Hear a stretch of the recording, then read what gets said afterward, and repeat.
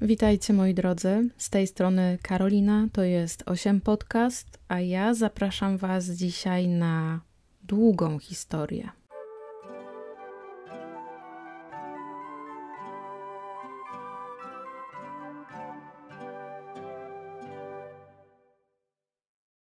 9 maja 1985 roku około godziny 22 do jednego z domów w Fayetteville w północnej Kalifornii bliżej nieznany osobnik zapukał do drzwi. Dla Catherine Eastburn zarówno pora była na wizytę bardzo niespodziewana, jak i ten sposób bardzo natarczywego dobijania się do drzwi. Zajmowała się akurat składaniem prania. Czy mógł to być jej mąż, który wracał z pracy? Absolutnie nie.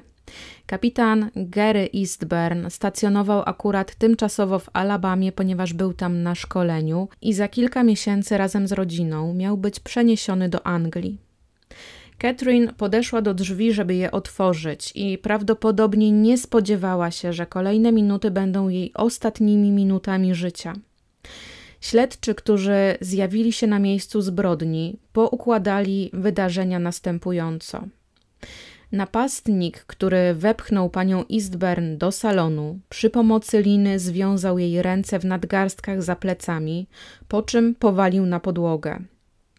Pociągnął za bluzkę i rozerwał dwa guziki, przy pomocy noża rozciął stanik z przodu. Jedną ręką trzymając nóż przy jej szyi, drugą rozpinał spodnie jeansowe, które kobieta tego wieczora miała na sobie. Później rozciął jej bieliznę, z jednej strony tak agresywnie, że kobieta na biodrze miała siniaka, Następnie ją napastował. Z raportu patologa wynika, że ciało kobiety zostało znalezione w głównej sypialni po prawej stronie łóżka. Jej twarz była zakryta stosem poduszek, a na klatce piersiowej miała 15 ran kłutych zadanych nożem oraz jedno rozległe cięcie na szyi, które przecięło jej tchawicę oraz przełyk. Z ran klatki piersiowej prawie nie płynęła krew. Przyczyną śmierci kobiety według patologa była rana cięta na szyi, której zadanie spowodowało, że Catherine straciła przytomność w ciągu 10 sekund. Maksymalnie w czasie do dwóch minut kobieta była martwa. Pierwsza została zadana rana cięta, dopiero później sprawca dźgał kobietę. Nie udało się patologowi określić, czy do zadania ran użyto jednego narzędzia zbrodni, czy było ich więcej. Ciało trzyletniej Erin Eastburn zostało także znalezione w głównej sypialni. Dziewczynka leżała po lewej stronie łóżka. Jej twarz oraz klatka piersiowa były częściowo przykryte poduszką. Na jej ciele patolog naliczył 10 ran umiejscowione na klatce piersiowej i górnej części brzucha. Na szyi dziewczynki widniało cięcie, które przecięło jej tchawicę, przełyk, prawą tętnicę szyjną oraz częściowo lewą tętnicę szyjną. Tak jak w przypadku matki, dziewczynka do dwóch minut od otrzymania tego cięcia była martwa. W kolejnej sypialni śledczy znaleźli ciało pięcioletniej Kary Eastburn. Jej ciało przykryte było nieco powyżej pasa narzutą. Miała zadane takie same rany kłute oraz cięcie na szyi jak matka i jak jej młodsza siostra. Jej rany kłute umiejscowione były na klatce piersiowej, zadane były od strony klatki oraz od strony pleców. W tym momencie, kiedy napastnik uporał się ze swoimi ofiarami, skupił się na szukaniu gotówki w mieszkaniu. Znalazł torebkę Catherine i ukradł z niej gotówkę oraz kartę kredytową.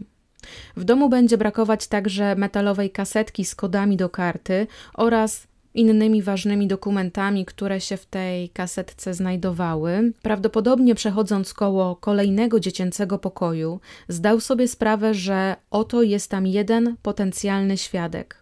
22-miesięczna Jana. Być może miał już dosyć zabijania, albo zauważył, że dziecko przez cały czas, kiedy w domu rozgrywał się dramat, spało, albo pomyślał o względach praktycznych. Okno pokoju dziecięcego wychodzi na ulicę, tak więc niedobrze, żeby ktoś zauważył jakiś podejrzany ruch w środku.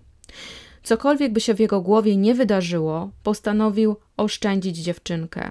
Zamknął drzwi jej pokoju, poszedł korytarzem, potem przez kuchnię, potem wyszedł do pomieszczenia gospodarczego i drzwiami ulokowanymi w bocznej części domu po prostu wyszedł. 11 maja 1985 roku, jak co tydzień, kapitan Gary Eastburn czekał na telefon od żony Catherine. Katrin dzwoniła zawsze w weekend o określonej godzinie. To była ich taka rutyna. To była sobota, a on dzwonił już do żony o 8.30 rano. Bez odzewu. Potem znowu o godzinie 11, także nikt w domu nie podnosił słuchawki. Spróbował jeszcze o godzinie 14 i odpowiedziała mu nadal cisza. Poważnie zaniepokojony był już o godzinie 17 i wtedy też zadzwonił do przyjaciela mieszkającego w Fayetteville, żeby sprawdził, czy wszystko u jego dziewczyn jest w porządku. Przyjaciel pojechał do domu Eastburnów, najpierw zapukał do drzwi. Nikt mu nie otworzył, potem wcisnął dzwonek. Kilka razy. Nie usłyszał żadnych kroków pani domu, nie usłyszał tupotu dziecięcych stóp, nikt nie otworzył mu drzwi. Przyjaciel poszedł na tyły domu, by przez szyby okien zajrzeć do sypialni. Jednak nie widział niczego podejrzanego, tak więc wrócił do domu i skontaktował się z Garym, żeby powiedzieć mu, co zaobserwował.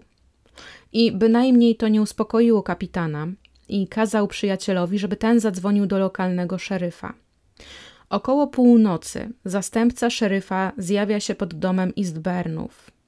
Pomimo stukania i dzwonienia dzwonkiem do drzwi, nikt tych drzwi nadal mu nie otwiera. Jedyne co zrobił, to w drzwiach domu umieścił notkę o tym, że mąż próbuje się skontaktować z Catherine, no i odszedł. W niedzielę, 12 maja, sąsiedzi państwa Eastburn byli nieco zaniepokojeni. Kolejny dzień mijał, a Robert i Norma Seafeldowie nie widzieli od dłuższego czasu dziewczynek, które bawiły się w okolicy swojego domu. Nie tylko dzieci Eastburnów nie było na zewnątrz, ale, ale też kilka gazet zostawionych przez gazeciarzy piętrzyły się przed drzwiami domu nieotwarte. Około godziny 11.30 Robert zdecydował, że pójdzie zobaczyć, co tam się właściwie dzieje. Pukał do drzwi i dzwonił dzwonkiem, i tak jak wcześniej nikt nie otworzył mu drzwi wejściowych. Jednak zdawało mu się, że słyszy płacz dziecka, i kiedy przyłożył ucho do drzwi, faktycznie tak było. Żeby się upewnić, że na pewno się nie przesłyszał, zawołał Normę, która potwierdziła, że tak, w domu państwa Eastburn płacze dziecko. Ponownie na posterunek szeryfa został wykonany telefon i o godzinie 13 na miejscu pojawił się zastępca. Mężczyzna wytężył wzrok i faktycznie wydawało mu się, że w jednym z pokojów widzi w łóżeczku stojące dziecko. Nie zastanawiając się dłużej, po prostu wybił okno, wszedł do środka i po chwili podał Robertowi Seafeldowi dwuletnią Jane, która płakała z głodu, wycieńczenia i odwodnienia. Nie minęło wiele czasu, a zastępca skontaktował się z biurem szeryfa i poprosił o wsparcie. Był 12 maja 1985 roku, Dzień Matki, a on znajdował się w samym centrum wyjątkowo brutalnego miejsca zbrodni. 15 maja w środę biuro szeryfa hrabstwa Cumberland wydało komunikat, w którym znajdowała się informacja, żeby mężczyzna, który odebrał psa Eastburnów, skontaktował się z biurem szeryfa. Kilka dni wcześniej Catherine zamieściła ogłoszenie w lokalnej gazecie Fort Bragg, że poszukuje nowego właściciela dla ich czteroletniej suczki Daisy, a Daisy była seterem angielskim. W ostatnim liście, jaki Gary otrzymał od żony, dostał informację o tym, że Daisy prawdopodobnie znalazła kochający dom i że miły mężczyzna we wtorek odebrał ich psa, żeby sprawdzić, czy Daisy dogada się z jego psem, czarnym labradorem. Katrin miała w czwartek odwiedzić owego mężczyznę, żeby zobaczyć, czy faktycznie Daisy ma już nowy dom, czy jednak będzie musiała szukać dalej. Także w radio, telewizji, prasie pojawił się komunikat z biura szeryfa, że ten mężczyzna jest poszukiwany. W komunikacie znalazła się informacja opisująca Daisy o tym, że nowy właściciel ma już psa oraz że jeździ białym Chevroletem. Tego samego dnia po południu podczas jedzenia obiadu w domu w towarzystwie żony Angeli oraz dwuletniej córki Christiny, sierżant sztabowy armii Timothy Hennis doznał olśnienia.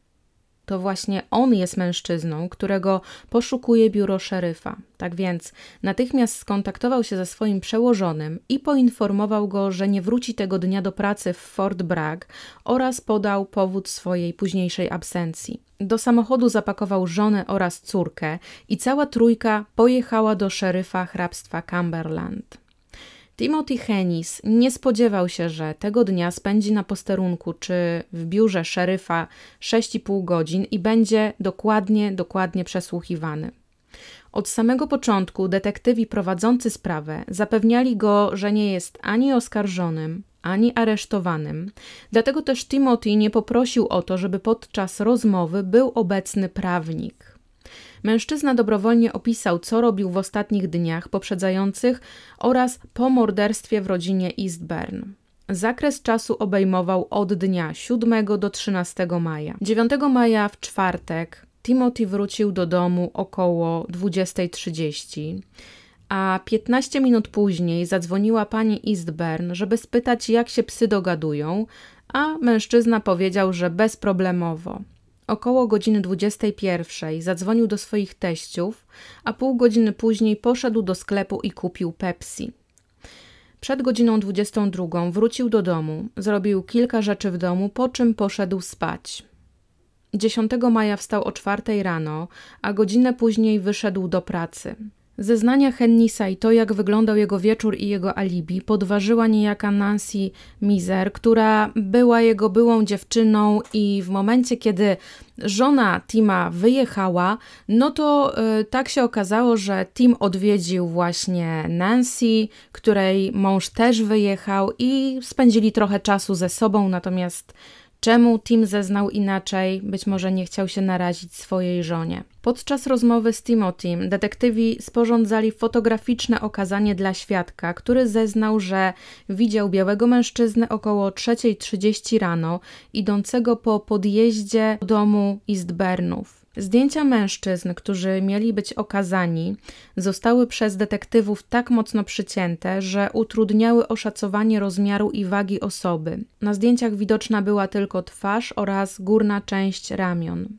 I jeśli chodzi o zdjęcie Timothy'ego, to ono zostało umieszczone na pozycji numer dwa. Jeden z detektywów zebrał ten zestaw zdjęć do radiowozu policyjnego, w którym siedział świadek. Był to czarnoskóry mężczyzna, który właśnie miał widzieć podejrzanego, e, jak kto woli, albo rano, albo w nocy. I teraz mężczyzna ten w jednych źródłach występuje jako Patrick Cohn, a w innych jako Chuck Barr. E, nie mam pojęcia, przyznam szczerze, nie udało mi się dotrzeć do informacji, skąd jest ta rozbieżność. Tak samo pies Eastburnów w jednym, w jednym źródle nazywa się Daisy, w innym źródle nazywa się Dixie. Natomiast wróćmy do pana świadka.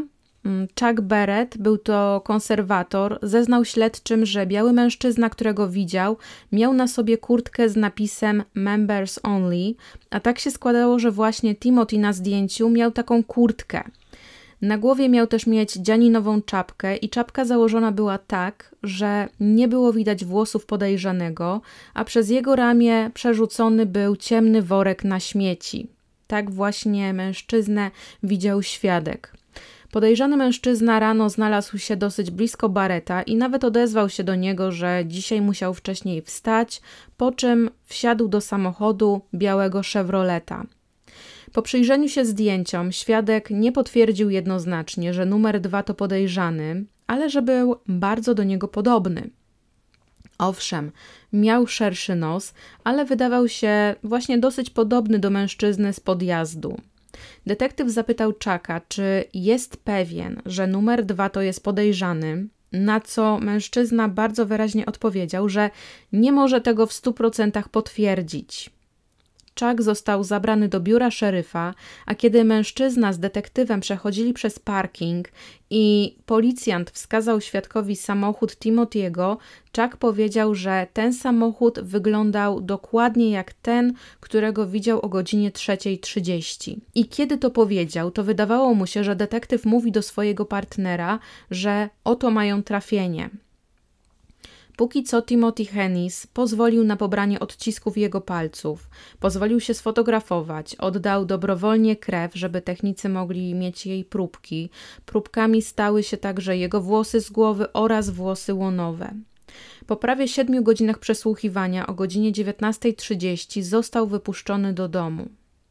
Jednak Timothy nie cieszył się wolnością zbyt długo, ponieważ o pierwszej w nocy, 16 maja w czwartek, do drzwi jego domu dobijali się policjanci. Mieli oni nakaz przeszukania. Timothy został zakuty w kajdanki i skierowany w stronę samochodu policyjnego, który zaparkowany był na podjeździe. On się zupełnie tego nie spodziewał, tak jak jego żona, która wyrwana była ze snu i stała na progu domu. Policjant, który siadł koło Tima w wozie policyjnym, powiedział mu tylko: Kolego, masz ogromne kłopoty. Krótko po aresztowaniu mężczyzna został oskarżony o potrójne morderstwo dokonane na Catherine, Karze oraz Erin Eastburn. Kolejne sześć miesięcy Tim spędził w więzieniu hrabstwa Cumberland. Nie wyznaczono za niego kaucji. Do swojej obrony zatrudnił obrońców 37-letniego Geralda Beavera oraz 29-letniego Williama Richardsona. I mimo, że byli oni względnie młodzi, no to wcale nie byli tacy niedoświadczeni. Dosłownie chwilę wcześniej wywalczyli dla swojego klienta, Henry'ego Spella, ogromne odszkodowanie w wysokości 900 tysięcy dolarów plus 235 tysięcy z tytułu ich honorariów w sprawie przeciw brutalności policji w Fayetteville. Tylko nadmienię, że sprawa przeciw policji dotyczyła tego, że podczas przesłuchiwania Henry'ego jeden z policjantów uderzył go tak mocno w pachwinę kolanem, że spowodował pęknięcie jądra, trwale go ubezpładniając. Po zaznajomieniu się z dokumentami, dowodami zebranymi przeciwko Timotiemu, oni zgodzili się reprezentować Tima. Według ich opinii sprawa przeciw Henisowi była najsłabiej skonstruowana, a jednym dowodem, jedynym dowodem łączącym Timotiego z miejscem zdarzenia były zeznania naocznego świadka Chucka Beretta. Nie było żadnego fizycznego dowodu, dlatego była to właśnie najsłabsza sprawa przeciw oskarżonemu, z jaką oni kiedykolwiek mieli do czynienia. Jednak obrońcy mieli gdzieś z tyłu głowy widmo sprawy rodziny McDonald, która to rodzina miała być pozbawiona życia rzekomo przez bandę hipisów w roku 1970. Colette McDonald w chwili zbrodni była w ciąży, a ofiarami padły także dwie córki kapitana. Obrońcy mieli także z tyłu głowy, że być może wszelkie zebrane dokumenty nie wskazują na winę Tima, jednak ludzie w Fayetteville już wydali wyrok, już osądzili mężczyznę i ta sprawa żywo buzuje w umysłach wszystkich, którzy śledzą i będą ją śledzić. A ponieważ sprawa McDonalda działa się w Fayetteville, no to ludzie na pewno będą łączyć te dwa przypadki, doszukując się podobieństw. I jeśli chodzi o sprawę McDonalda, to cała rodzina właśnie kapitana, tak jak powiedziałam wcześniej, została pozbawiona życia, natomiast mężczyzna został znaleziony z ciężkimi ranami on się finalnie z tego, że tak powiem, wykaraskał, natomiast został oskarżony jako właśnie sprawca napaści. Natomiast ponieważ kara śmierci została przywrócona na terenie Karoliny Południowej w 1977, to w przeciwieństwie do Jeffreya McDonalda, który dostał wyrok trzech kar dożywocia, a dożywocia miał odsiadywać jedno po drugim, no to Timothy miał nad sobą wizję skazania go na śmierć. W listopadzie 1985 roku powoli zaczęły pojawiać się wyniki badań laboratoryjnych. Odciski palców zebrane z miejsca zbrodni nie pasowały do odcisków Tima. Włókna z odzieży czy nawet grupa krwi nie miała nic wspólnego z oskarżonym, nic nie umieszczało Henisa na miejscu zbrodni. Tim, kiedy o tym się dowiedział, to zaczął naciskać na swoich prawników, żeby wyciągnęli go z więzienia, jednak oni mu wytłumaczyli, że to nie jest najlepszy pomysł, podobnie jak ustalenie kwoty kaucji.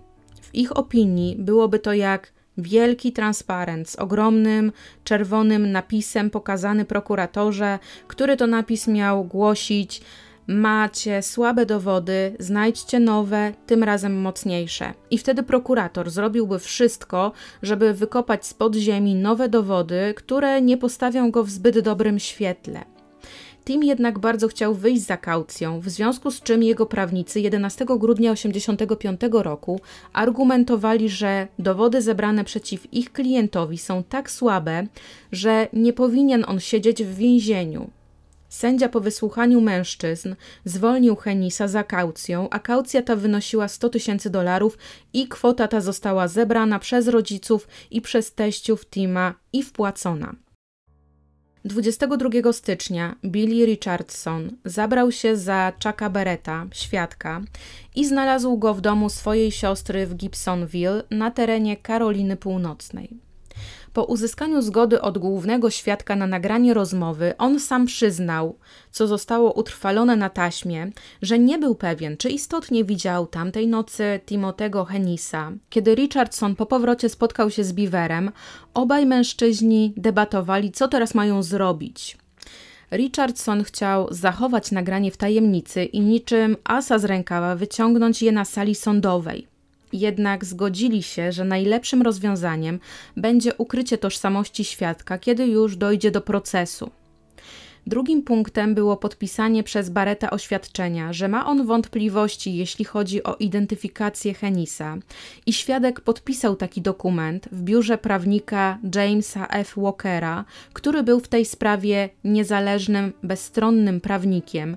I to on przed podpisaniem oświadczenia przeprowadził rozmowę ze świadkiem czy Barrett na pewno wie, co robi i by upewnić się, że nikt go do tego nie przymusza. Barrett wtedy powiedział: Myślałem, że pozytywnie zidentyfikowałem osobę, którą mi przedstawiono na okazaniu wśród innych mężczyzn, że to była ta osoba, która istotnie była przeze mnie widziana. Jednak po zastanowieniu się mam wątpliwości. Czy na pewno wskazałem właściwą osobę? Nie mogę powiedzieć na pewno, że ten mężczyzna, którego wskazałem, był tym samym mężczyzną, którego widziałem w Summerhill Drive. Rozprawa przedprocesowa odbyła się 13 lutego 1986 roku. Obrońcy przedstawili taśmę z wyznaniem Bareta oraz podpisane przez niego oświadczenie. Oświadczenie zostało spisane pod przysięgą, jeśli tego wcześniej nie powiedziałam, i kiedy prokuratorzy usłyszeli, co mają obrońcy Henisa, poprosili sędziego o przerwę, po czym zniknęli ze swoim świadkiem. Wrócili z nim po prawie dwóch godzinach i Chuck Barrett wycofał swoje zeznania, wycofał to, co podpisał powiedział, że oskarżyciele wywierali na nim presję i że nie rozumiał, co on właściwie podpisuje i że to oświadczenie to w zasadzie podpisał pod przysięgą. Sędzia zdecydował więc, że nie będzie zatrzymywał świadka i powstrzymywał od składania zeznań na sali sądowej i pozwolił Barrettowi zeznawać. Proces rozpoczął się 26 maja 1986 roku. Prokurator zaczął od pokazania przysięgłym dwóch zdjęć. Na jednym wszyscy mogli zobaczyć uśmiechniętą rodzinę w komplecie, rodzinie, rodzinę Eastburnów, natomiast drugie zdjęcie przedstawiało okaleczone ciała ofiar. Prokurator pokazał najpierw pierwsze zdjęcie i powiedział: Zanim spotkali Henisa. Skazał drugie zdjęcie i powiedział: Po spotkaniu z Henisem. Na sali sądowej został ustawiony duży ekran, na którym prokurator wyświetlał slajdy przedstawiające miejsce zbrodni oraz ciała ofiar. Kiedy zeznawało dwóch patologów sądowych, to wszyscy zgromadzeni na sali sądowej mogli zobaczyć kolejne 26 slajdów dokumentujące sekcję zwłok ofiar. Po zakończeniu zeznań to, co wszyscy widzieli na slajdach, zostało przekazane w formie zdjęć ławnikom i przekazywali sobie oni pojedynczo każde zdjęcie. Pełne obejrzenie fotografii przez wszystkich trwało równą godzinę. Świadek Chuck Barrett zeznawał, że miał wątpliwości wcześniej co do mężczyzny, którego widział o 3.30 rano, ale teraz już nie ma. I wskazując palcem na oskarżonego powiedział: To był on, to był pan Hennis.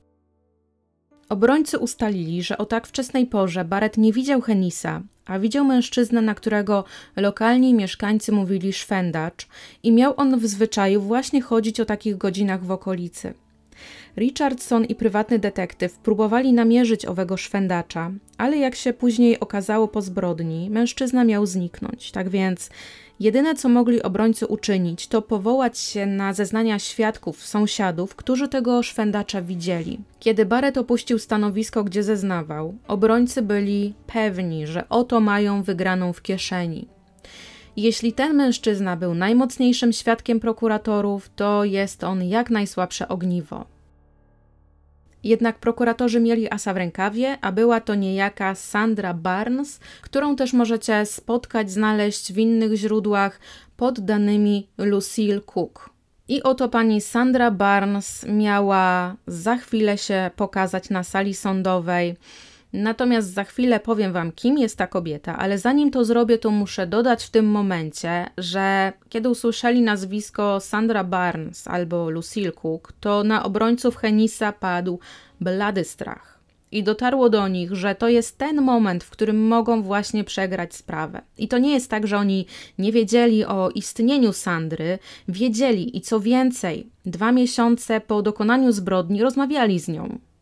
Morderca, kimkolwiek był, ukradł portfel Catherine Eastburn, w którym znajdowała się karta bankomatowa oraz metalowy safe, który, w którym między innymi były kody do owej karty. 10 maja 1985 roku o godzinie 22.54 sprawca użył karty i użył kodów, żeby wypłacić z karty Catherine 150 dolarów.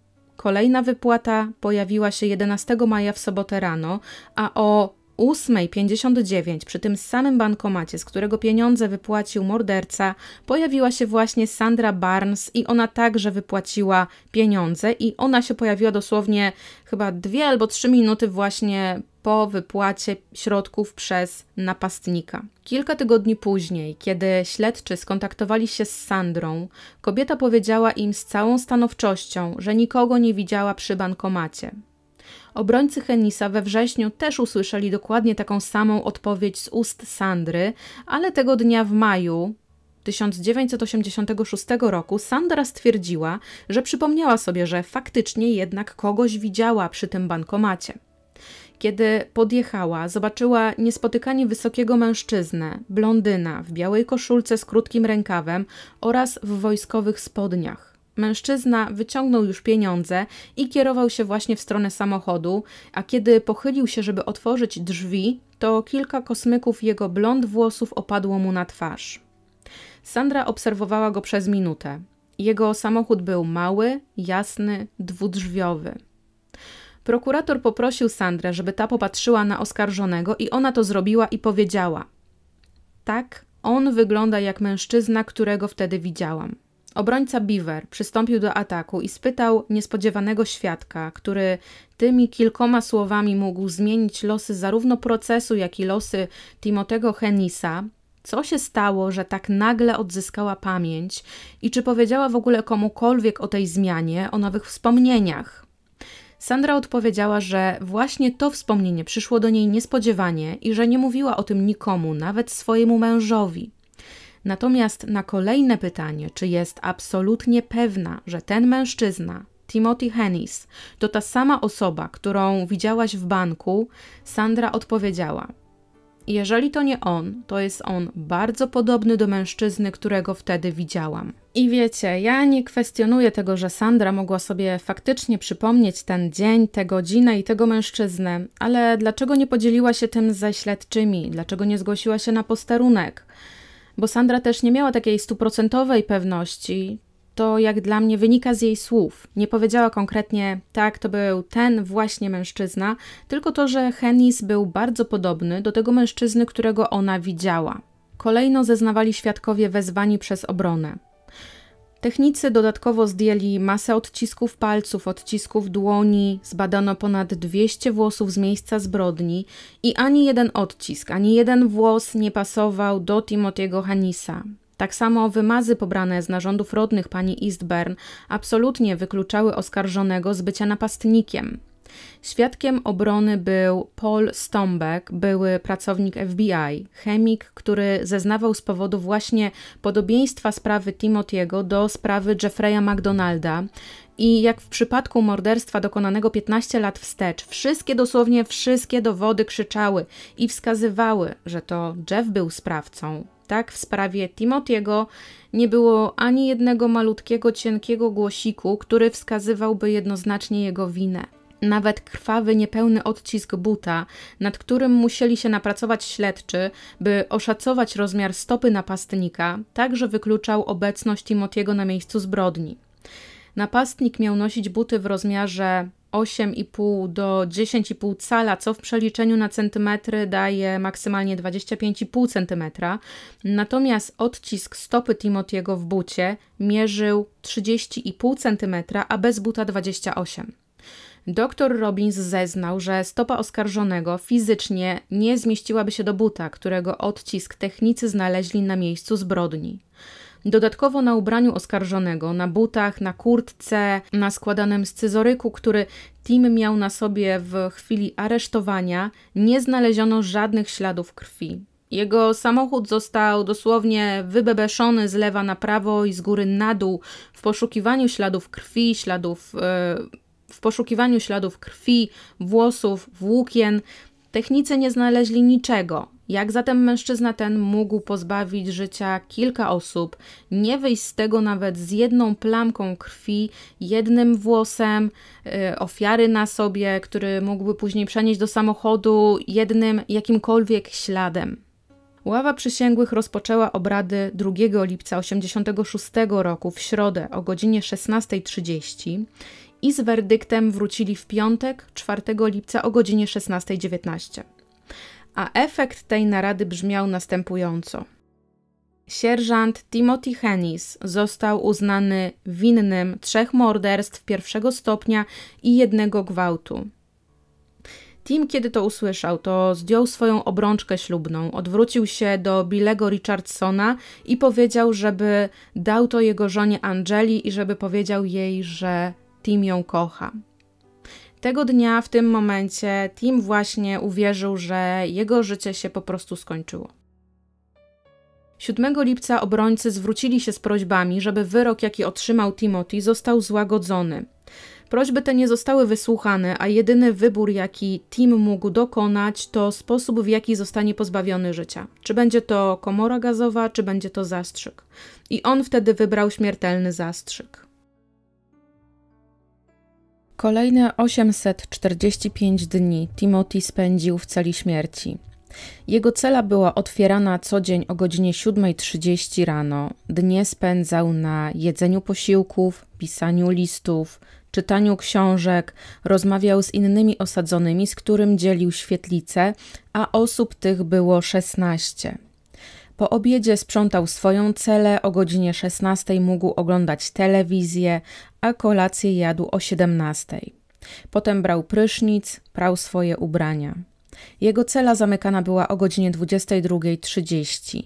Raz w tygodniu miał pozwolenie, żeby obejrzeć film, oraz raz w tygodniu odwiedzała go żona razem z córką. Dwa razy w tygodniu mógł ćwiczyć. Na początku marca 1987 roku Hennis otrzymał przesłany mu z biura szeryfa list, napisany ręcznie, a treść tego listu brzmiała: Szanowny panie Hennis, to ja popełniłem te zbrodnie. Ja zamordowałem rodzinę Eastburn. Kiedy to czytasz, jestem bezpieczny poza stanem Północna Karolina. Przepraszam, że odsiadujesz wyrok. Dziękuję, pan X.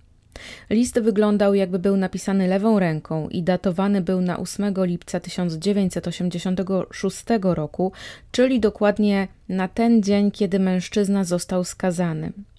Tim pokazał list swoim obrońcom, a oni stwierdzili, że sprawa Henisa ujawni różnych dziwaków, różnych yy, żądnych sławy, chwilowej sławy ludzi, którzy będą sobie robili żarty z niego i właśnie z całej tej sprawy.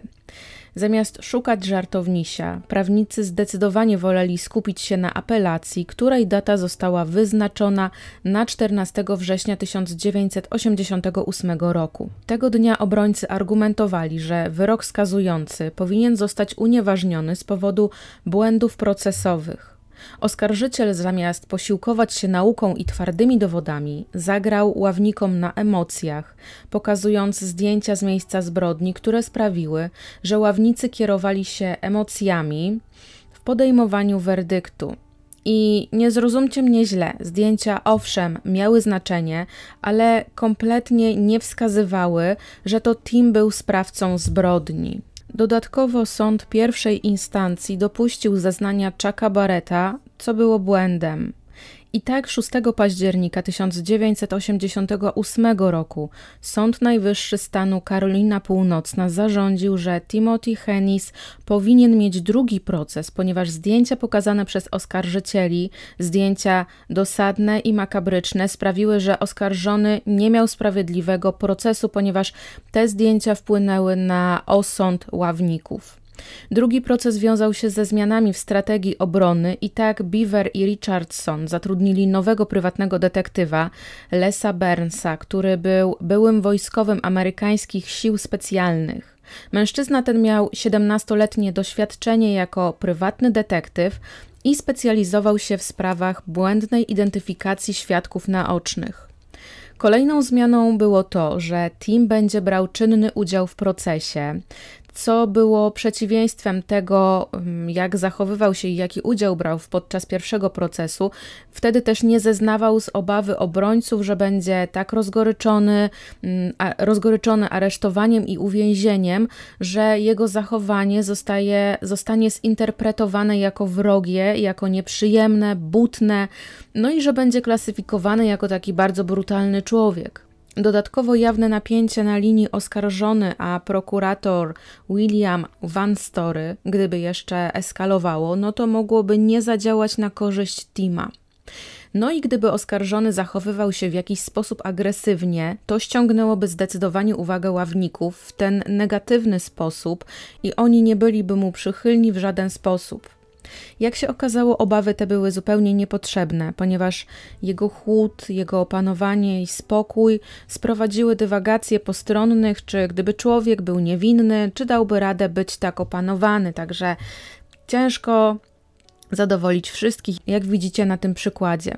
Obrońcy zdecydowali także, że zatrudnią biegłego sądowego, który będzie w stanie przedstawić szerzej problematykę zeznań naocznych świadków oraz to, jak silna może być sugestia, żeby zmienić, a nawet stworzyć nowe wspomnienia u takich osób. I tą biegłą sądową była dr Elizabeth Loftus.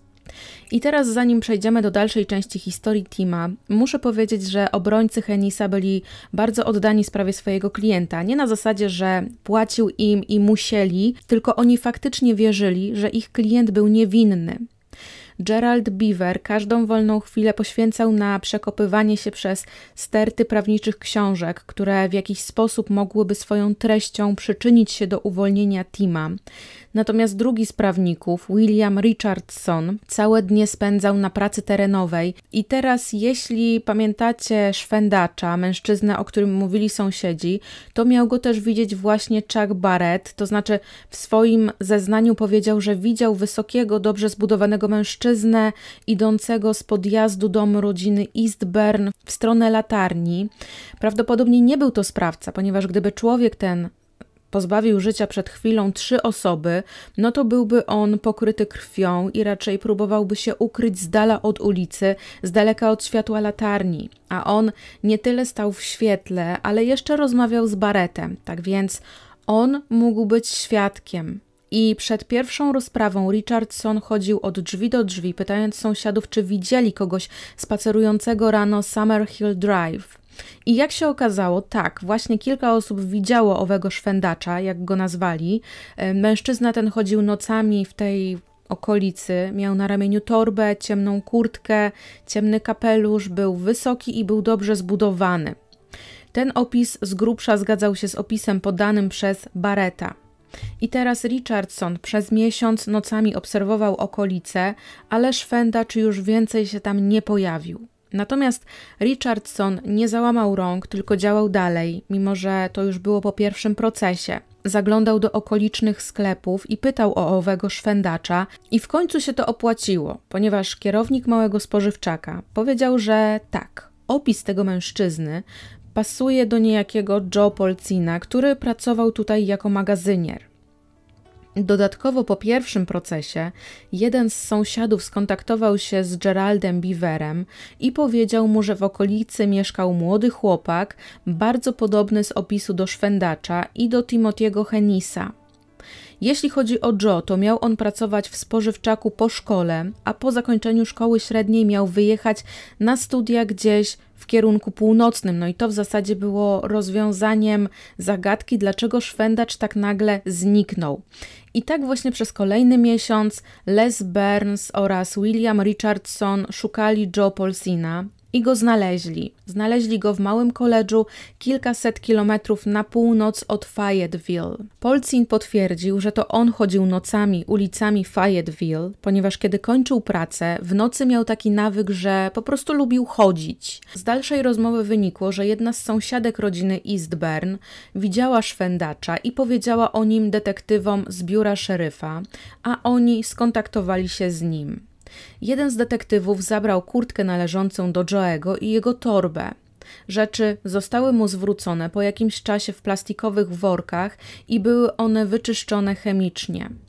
Prawdopodobnie detektywi użyli luminolu na rzeczach Polzina, a kiedy nie znaleźli śladów krwi, ubrania zostały wyczyszczone i zwrócone właścicielowi. Tak więc Oskarżyciel przed pierwszym procesem wiedział o istnieniu Polzina, gdzie on przebywa, ale jak później powiedział prokurator, Polzin nie był podejrzanym w sprawie morderstwa, tak więc nie widział on po prostu powodu, żeby przekazać obrońcom informacje dotyczące Joego.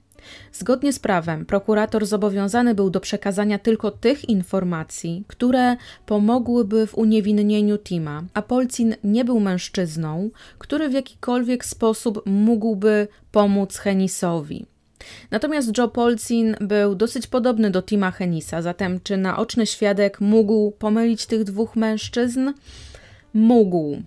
Chuck Barrett miał problemy z piciem i to na tyle poważne, że po pierwszym procesie w 1987 roku został oskarżony o pijaństwo i nieporządne zachowanie się w miejscu publicznym. Dodatkowo miesiąc przed drugim procesem Henisa, główny świadek oskarżenia został oskarżony o próbę wypłaty pieniędzy z bankomatu przy pomocy ukradzionej karty. Ze względu na rozgłos dotyczący sprawy, drugi proces został przeniesiony z Fayetteville do oddalonego o ponad 150 km na południowy wschód Wilmington. I sprawa Tima była pierwszą swego rodzaju, kiedy osoba będąca w celi śmierci dostała możliwość przeprowadzenia ponownego procesu. W kwietniu 1987 roku prokuratora Williama Van Story zastąpił Calvin Collier oraz John Dickinson. Grupa obrończa Tima została bez zmian. Obrońcy kwestionowali zeznania Chucka Beretta, który twierdził, że tej nocy pogoda była ładna, ponieważ wezwani przez duet Beaver Richardson, pilot helikoptera, jak i meteorolog, zeznali, że nie było wcale tak ładnie, a co więcej było pochmurno. Wątpliwościom zostały poddane zeznania Sandry Barnes. Doktor Elizabeth Loftus zeznała jako świadek obrony i opowiadała o tym, że kiedy policjanci przesłuchują świadka, mogą temu świadkowi celowo lub nieintencjonalnie przekazywać w tym samym czasie informacje. Jest to bardzo niepoprawna technika czy praktyka, kiedy śledczy mają na oku swojego podejrzanego albo mają jakąś teorię na temat sprawy i próbują wpłynąć na świadka sugestywnymi pytaniami. A świadek w dobrej wierze przypomina sobie coś, co nie miało miejsca. I tak naprawdę to pierwsze zeznanie świadka z reguły jest najdokładniejsze. Sandra w tak zwanym międzyczasie zapoznała się z artykułami w prasie i kiedy już sprawa wybuchła, no to pomyślała, że faktycznie widziała mężczyznę podobnego do Henisa. Tak samo Barrett opisał początkowo niższego mężczyznę i bardziej przysadzistego, z jasnobrązowymi włosami, a kiedy zobaczył Henisa, do swoich zeznań dodał kilka centymetrów wzrostu dla owego mężczyzny i zmienił mu kolor włosów, żeby opis był bardziej zgodny z opisem Tima. Obrońcy powołali dwóch dodatkowych świadków, którzy swoimi zeznaniami potwierdzili niewinność Tima. Dalej przedstawili wszelkie zebrane odciski, próbki krwi, próbki włosów, zarówno łonowych, jak i z głowy napastnika, wszystkie zebrane z sypialni Catherine. Każdy z dowodów nie łączył Henisa ze zbrodnią. Proces trwał trzy tygodnie. Ława przysięgłych obradowała dwa dni, aż wreszcie pojawili się z werdyktem, który głosił: niewinny. Niewinny każdego zarzutu morderstwa i niewinny zarzutowi gwałtu. Natomiast jeszcze inne źródła podają, że ława przysięgłych obradowała jedynie 2 godziny i 20 minut, a szybkość podjęcia werdyktu związana była z faktem, że nic nie łączyło Hennisa z miejscem zbrodni, a świadkowie byli słabi w identyfikowaniu kogoś, kogo widzieli, no i jeszcze ten szwendacz, który też dowodził swoją obecnością, jak łatwo było go pomylić z Hennisem. Tak więc od roku 1977, odkąd na terenie Karoliny Północnej została przywrócona kara śmierci, Timothy Hennis był pierwszym skazańcem z celi śmierci, który został uniewinniony. Natomiast pan X miał napisać drugi list do Hennisa, który został wysłany na adres biura szeryfa Fayetteville, no i tutaj tym razem nikt nie przekazał obrońcom tej informacji, że e, taka notatka dotarła i też nieznana jest treść drugiej, drugiego listu. Kilka miesięcy po śmierci Catherine i jej córek, w odległości około 65 km od Fayetteville, została Pozbawiona życia brutalnie inna kobieta została napastowana, a jej ciało nosiło ślady wielokrotnych pchnięć zadanych nożem. Jej gardło zostało tak mocno podcięte, że prawie została zdekapitowana. Ręce miała związane sznurkiem, a twarz przykryta poduszką, dokładnie tak jak Catherine Eastburn. Toku śledztwa detektywi dotarli do informacji, że pięć dni wcześniej owa kobieta umieściła ogłoszenie w lokalnej gazecie, że ma na sprzedaż łóżko wodne. Katrin też umieściła w gazecie ogłoszenie o poszukiwaniu dobrego domu dla swojego psa. Czy właśnie w taki sposób napastnik mógł znajdować swoje ofiary? Być może jeździł po terenie Stanów Zjednoczonych i tak właśnie działał. Przyczajał się potem na kilka miesięcy, potem znowu znajdował ofiarę i ponownie ją atakował. Na te pytania już prawdopodobnie nie poznamy odpowiedzi, ale wróćmy do historii Tima Henisa, ponieważ no ta historia się jeszcze nie kończy. Po uniewinnieniu Tim ponownie wstąpił do armii Stanów Zjednoczonych i został awansowany do stopnia sierżanta sztabowego. Służył w Iraku podczas operacji Pustynna Burza i w Somalii. Został odznaczony za swoją służbę i w 1998 roku rodzina państwa Henis przeniosła się do Fort Louis w stanie Waszyngton, no i rodzina ta także powiększyła się o syna Andrew. Henis został drużynowym skautów i w 2004 roku przeszedł w końcu na wojskową emeryturę i pracował w oczyszczalni ścieków. Gary Eastburn przeniósł się w 1998 roku z córką Jane'ą do bazy sił powietrznych Stanów Zjednoczonych, umiejscowionej na północ od Londynu i został tam łącznikiem. Trzy lata później poznał pielęgniarkę, Angielkę, którą poślubił, ostatecznie wrócił do Stanów Zjednoczonych i zamieszkał w Waszyngtonie. I wygląda na to, że sprawa Henisa jest zakończona. On został uniewinniony. Otóż jeszcze nie tym razem, moi mili Państwo, ponieważ mamy rok 2005 i niejaki detektyw Larry Trotter z biura szeryfa hrabstwa Cumberland bierze udział w maju 2005 w seminarium poświęconemu zaawansowanym technikom kryminalnym. Na przykładzie właśnie sprawy rodziny Eastburn i na tym seminarium omawiany jest przykład sprawy rodziny Eastburn. Detektyw na owych wykładach dowiaduje się od dziennikarza Scotta Wisnana, że z narządów rodnych Katie została pobrana próbka nasienia. W latach 80. badacze nie mieli możliwości zbytnio na przebadanie tej próbki. Do czasu tego seminarium sprawa Hennisa i rodziny Eastburn nie była nigdzie szerzej komentowana. Trotter odnalazł pobrane próbki i wysłał je do laboratorium kryminalistycznego SBI i czekał na wyniki. Czekał rok. Technicy z laboratorium byli w stanie uzyskać profil DNA z próbki nasienia i dopasować. Dopasowali do Tima Hennisa i co więcej, tylko jedna osoba na 1,2 biliarda populacji miała pasować do tego profilu. Hennis nie mógł być ponownie postawiony przed oblicze sądu cywilnego, ponieważ miał dwa procesy i z tych dwóch procesów finalnie wyszedł jako człowiek uniewinniony. Tak więc nie mógł być uniewinniony albo skazany jeszcze raz przed sądem cywilnym. I tutaj jest właśnie furtka, ponieważ mógł być e, sądzony jako wojskowy i stanąć przed sądem wojskowym. Sąd wojskowy jest inną jurysdykcją od sądu cywilnego, także e, tak sobie to ktoś wykombinował. Dodatkowo Wielki Kodeks Sprawiedliwości Wojskowej mówi, że ten, kto był sądzony przed sądem cywilnym, może, ale zwykle nie będzie sądzony przed sądem wojskowym. Tim wtedy nie wiedział o wynikach badań DNA. Trotter przekazał te informacje prokuratorowi okręgowemu hrabstwa Cumberland, śledczemu, który brał udział w sprawie w 1985 roku oraz Garemu Eastburnowi. Także bardzo mała ilość osób o tym wiedziała.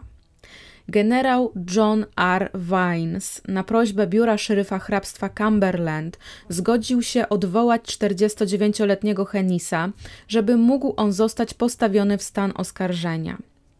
I tak swoją drogą do prawnicy Tima w 1998 roku doradzali mu, żeby już całkiem opuścił armię, natomiast Tim tego nie zrobił, pobierał wojskową emeryturę, także w związku z czym mógł on zostać odwołany i tak to się właśnie stało.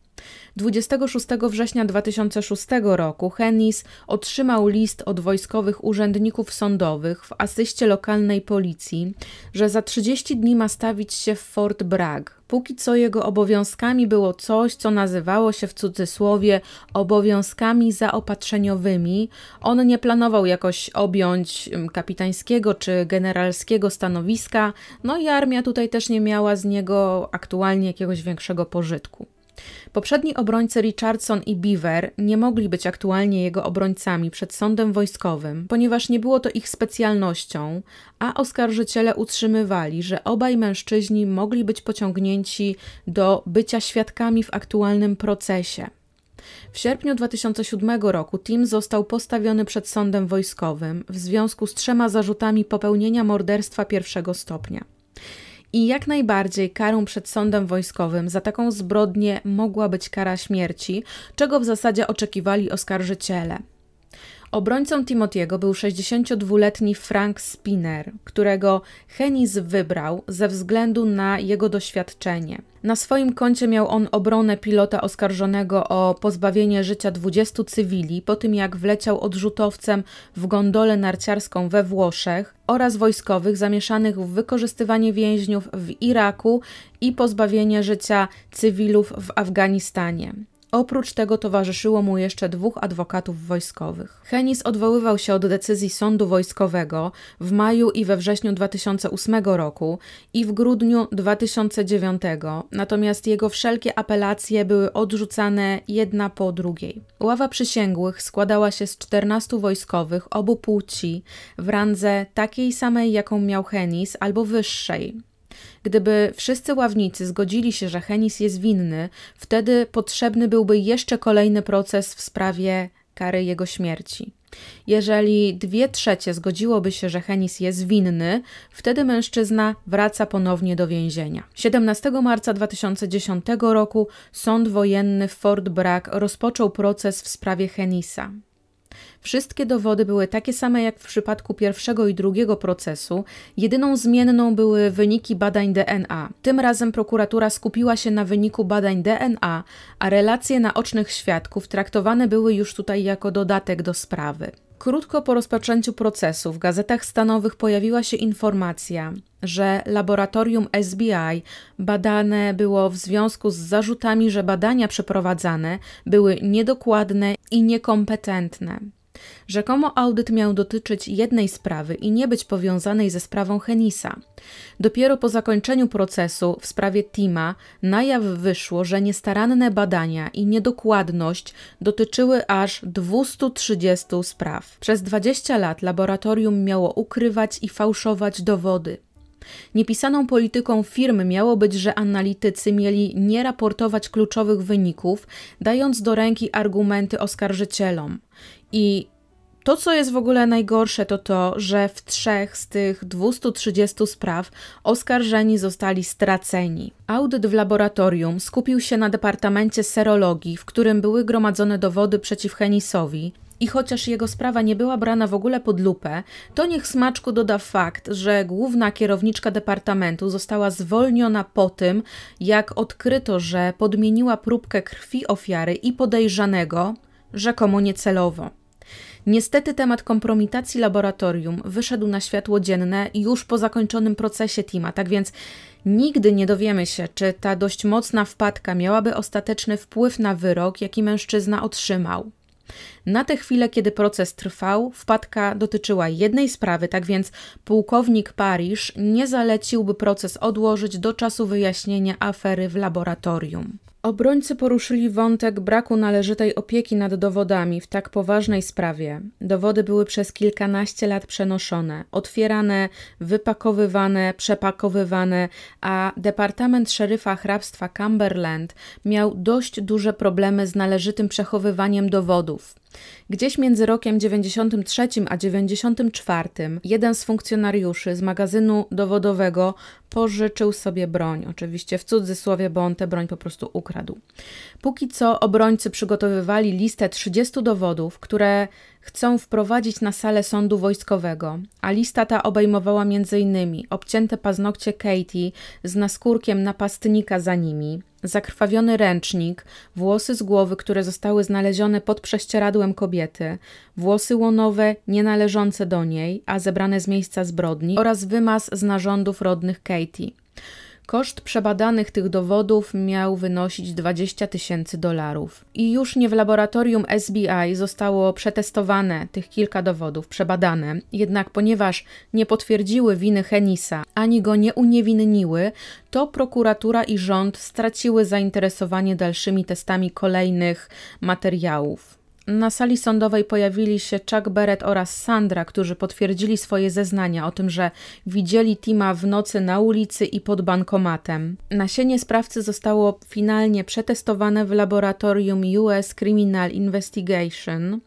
Test, jakiemu zostało poddane nasienie, on nosi nazwę YSTR i ten test, ponieważ koncentruje się na chromosomie Y, dotyczy tylko i wyłącznie mężczyzn i z tego, co dosyć pobieżnie przejrzałam internet, to dzięki temu testowi wyznacza się na przykład pokrewieństwo między męskimi osobnikami rodziny. W czasie, kiedy trzeci proces Hennisa się dział, to ten test był wykonywany dopiero drugi raz w procesie karnym.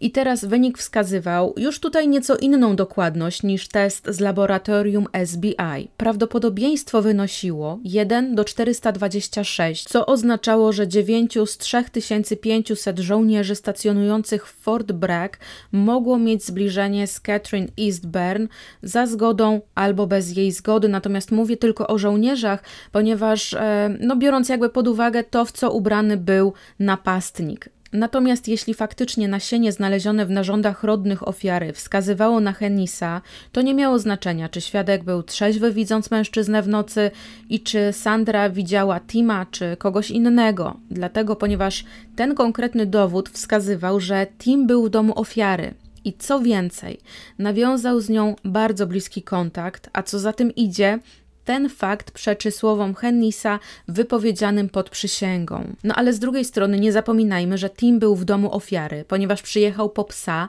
dla którego Katie szukała nowego kochającego domu. I tutaj w ogóle ciekawa sprawa, ponieważ w jednych źródłach ten pies jest nazywany Daisy, a w innych Dixie. Natomiast nie możemy wykluczyć, że między tą dwójką doszło do zbliżenia, y, z, że samotna w tamtym momencie kobieta, przykładna żona, matka, kochana sąsiadka, wychowująca trójkę dzieci, której mąż był daleko, po prostu zobaczyła Henisa i między tą dwójką zaiskrzyło.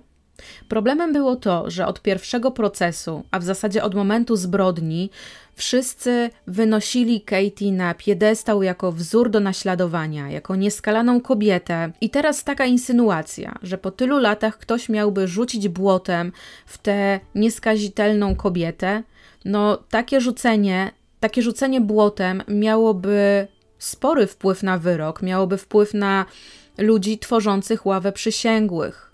Problem był też ze świadkami. Kobieta, która umiejscowiła w swoich zeznaniach samochód Hennisa w czasie śmierci przed swoim domem, nie chciała zeznawać. Nie chciał zeznawać podczas tego trzeciego procesu także szwendacz, który twierdził, że został bezceremonialnie wykorzystany podczas procesu numer dwa. Nie chciała zeznawać pani świadek, która miała widzieć inną osobę na podwórku Eastburnu w tamtej nocy.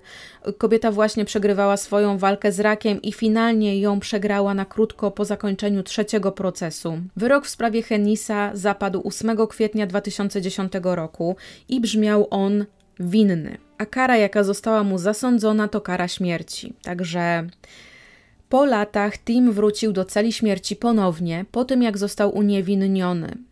Do dziś przebywa w celi śmierci w Fort Leavenworth w stanie Kansas. Czeka tam na wykonanie wyroku jako jeden z sześciu przebywających tam oskarżonych. Gary Eastburn, wtedy 67-latek, powiedział tak dziennikarzom. Myślę, że zasługuje na śmierć za to, co zrobił. Nie jest to zbytnio chrześcijańskie, ale on nie może mi nic powiedzieć, co sprawiłoby, żebym mu wybaczył. Gary powiedział dalej, że nie interesuje go egzekucja Henisa ani cierpienie jego rodziny, ale chciałby, żeby mężczyzna zgnił w więzieniu. Czy tak właśnie kończy się historia Timothy'ego Henisa? Żołnierza z Fort Bragg, który ogarnięty być może pożądaniem i wściekłością pozbawia życia kobietę oraz jej dwie córki, totalnie czyści miejsce zbrodni i żyje sobie po uniewinnieniu kilkanaście lat, dopóki na scenę nie wkracza człowiek z wynikami badań DNA, który wszystkim macha przed nosem i mówi i wskazuje na Henisa, że to on jest winny. W styczniu 2011 roku adwokaci Tima złożyli pismo o przeprowadzenie kolejnego procesu w związku z udziałem kierowniczki Wydziału Serologicznego, która zeznawała na procesie Hennisa, a która straciła pracę wcześniej z powodu pisania fałszywych raportów i zmiany próbek. Sędzia pułkownik Parrish odrzucił prośbę obrony o uzyskanie dokumentów ze śledztwa w laboratorium SBI. We wrześniu 2011 roku Hennis odwołał się od swojego drugiego wyroku skazującego, twierdząc, że armia amerykańska nie ma jurysdykcji, żeby sądzić go za morderstwa. Odwołanie Hennisa zostało rozpatrzone w Sądzie Apelacyjnym Stanów Zjednoczonych dla czwartego okręgu w dniu 26 października 2011 roku. Przerwa w służbie miała uchronić Henisa przed byciem sądzonym przez sąd wojskowy i przed ściganiem go. W styczniu 2012 roku pełniący obowiązki dowódcy Fort Bragg zatwierdził wykonanie wyroku za morderstwa. W maju 2012 roku Sąd Najwyższy Stanów Zjednoczonych odrzucił apelację Henisa o rozpatrzenie jego sprawy przez sąd. Także składane przez mężczyznę apelacje w Wojskowym Sądzie Apelacyjnym i Sądzie Apelacyjnym Stanów Zjednoczonych dla Sił Zbrojnych zostały odrzucone. W październiku 2019 roku prawnicy Henisa złożyli apelację do Sądu Apelacyjnego Stanów Zjednoczonych dla Sił Zbrojnych, kwestionując jurysdykcję armii do sądzenia Henisa, powołując się na konstytucyjne zakazy podwójnego karania. Pod koniec lutego 2020 roku Sąd Apelacyjny Sił Zbrojnych podtrzymał wyrok Sądu Apelacyjnego Armii Stanów Zjednoczonych odrzucający apelację Henisa przeciwko postępowaniu sądowemu. 4 września 2020 prawnicy złożyli. Tak nakaz certoriari, czyli nakaz, żeby Sąd Najwyższy Stanów Zjednoczonych jeszcze raz przyjrzał się decyzjom i werdyktom wydanym przez sądy niższej rangi. Nakaz został odrzucony przez sąd 11 stycznia 2021 roku. Podczas procesu wojskowego jednym z badanych dowodów był zakrwawiony ręcznik, na którym, jak ekspert zeznał, zostało wyodrębnione DNA nienależące do Henisa. Niestety do dzisiaj nie wiadomo, co wykazały testy dotyczące tego, co zostało znalezione pod paznokciami Catherine. A może Tim Hennis nie jest wcale taki niewinny, jak nam się wszystkim wydaje? Może wykorzystał okazję, kiedy w domu nie było jego żony i niedawno urodzonej córki. Czuł się niezaspokojony. Jego kobieta skierowała całe swoje zasoby w stronę niemowlaka, a on stwierdził, że poszuka sobie kogoś innego na tę chwilę. Najpierw udał się do swojej byłej dziewczyny, ona mu odmówiła, Dlaczego skierował swoje kroki do domu Katie, skoro w mieście, w którym stacjonowali żołnierze, mógł znaleźć kobietę, która bardziej chętnie niż Katrin i niż jego była dziewczyna spędziłaby z nim wieczór? I jakim sposobem on pozbawił życia kobietę oraz jej córki, nie pozostawiając ani pół dowodu, swojego dowodu na miejsca zbrodni? Jedynym dowodem jest nasienie w narządach rodnych Katie, ale czy dobrowolny stosunek płciowy? Jest powodem do wtrącenia człowieka do celi śmierci, ale z drugiej strony, jeśli on z Katie się zbliżyli, czemu nie powiedział tego podczas pierwszego czy podczas drugiego procesu? Czy może doradzili mu to jego prawnicy, czy w obawie o brak przychylności ławników po prostu zalecili mu milczenie? Z drugiej strony, sześć dni po pierwszym aresztowaniu, kiedy prawnik potwierdził Timowi, że w ciele Katie znaleziono nasienie, on odpowiedział pewnie, że to nasienie nie należy do niego. Henis też nigdy nie opierał się żadnym testom, zawsze chętnie oddawał próbki, jakie śledczy potrzebowali i w swoim publicznym oświadczeniu zaprzeczył, jakoby miał uprawiać seks z Katie i nigdy tego nie odwołał. Czy faktycznie laboratorium SBI posunęło się do tak haniebnego czynu, żeby podłożyć próbkę nasienia, tak by wskazywała, że to właśnie Tim zbliżył się do Katie? Ja widzę w tej historii bardzo dużo pytań i tak naprawdę mam wrażenie, że całkiem niewinny człowiek siedzi w celi śmierci i to siedzi w tej celi śmierci ponownie. Dziękuję Wam bardzo za wysłuchanie tej historii i jestem ciekawa Waszego zdania, bo ja nie ukrywam, że ta historia jest dla mnie takim naprawdę ogromnym znakiem zapytania, a ten znak zapytania jest na końcu zdania, które brzmi: Co tu się właściwie wydarzyło? Dziękuję Wam bardzo za wysłuchanie tej historii. Zapraszam do sekcji komentarzy. Jeśli nie lajkujecie, jeśli nie subskrybujecie mojego kanału i jeśli nie kliknęliście w dzwonek, to przypominam Wam, że możecie cały czas to zrobić, e, żeby być na bieżąco z tym, że wrzucam materiały codziennie, a od nowego roku co tydzień. Do usłyszenia jutro.